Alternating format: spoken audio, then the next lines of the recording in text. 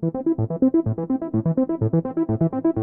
तो दोस्तों फाइनली हमें ब्रह्मास्त्र का ट्रेलर देखने को मिल गया, जिसे देखने के बाद सच में दिल खुश हो गया। वैसे तो इस फ़िल्म के लिए मैं काफ़ी एक्साइटेड हूँ, लेकिन इतना कुछ नहीं सोचा था कि हमें इस तरह का कुछ देखने को मिलेगा, जो सच में काफ़ी मज़ेदार है। ये फ़िल्म एक अपना सिनेमेटिक यूनिवर्स बनाने जा रही है, जिसे नाम दिया है अस्त्रवर्ष जिसमें हमें बहुत सारे अस्त्रों को दिखाया जाएगा, जिनमें से कुछ की झलक हम ट्रेलर में देख चुके हैं, जो अलग अलग देवताओं की पावर से लैस होते हैं, जिन्हें काफ़ी बढ़िया तरीके से दिखाया गया है। और इस फ़िल्म में रणबीर कपूर, जो शिवा का किरदार निभा रहे हैं, वो खुद एक अस्त्र है। मतलब बाकी लोगों के पास अस्त्रों के रूप में कोई ब्रेसलेट या कोई चाकू छुरी होता है, जिनसे वो अपने अस्त्रों को यूज़ करते हैं। लेकिन शिवा खुद एक अस्त्र है, इसलिए फायर उसे नुकसान नहीं पहुंचाती। और ट्रेलर की सबसे बढ़िया बात मुझे ये लगी कि स्टोरी के बारे में हमें कुछ ज़्यादा नहीं बताया गया है, जो कि बहुत ही अच्छा डिसीज़न है। क्योंकि अगर हमें ट्रेलर में ही सारी स्टोरी बता दी जाएगी तो मूवी देखने में वो मज़ा नहीं आता। और अगर हम वीएफएक्स की बात करें तो वीएफएक्स बहुत बढ़िया है। और जिस हिसाब से वीएफएक्स का यूज़ किया गया है, वो कहीं भी आपको नकली नहीं लगता। और जो लोग इसके वीएफएक्स को बेकार कह रहे हैं, उन्हें कम से कम इसके बजट के बारे में भी ज़रूर सोचना चाहिए। क्योंकि इस बात का कोई सेंस नहीं बनता कि आप 300 करोड़ की मूवी को 3000 करोड़ की मूवी से कंपैरिजन करो।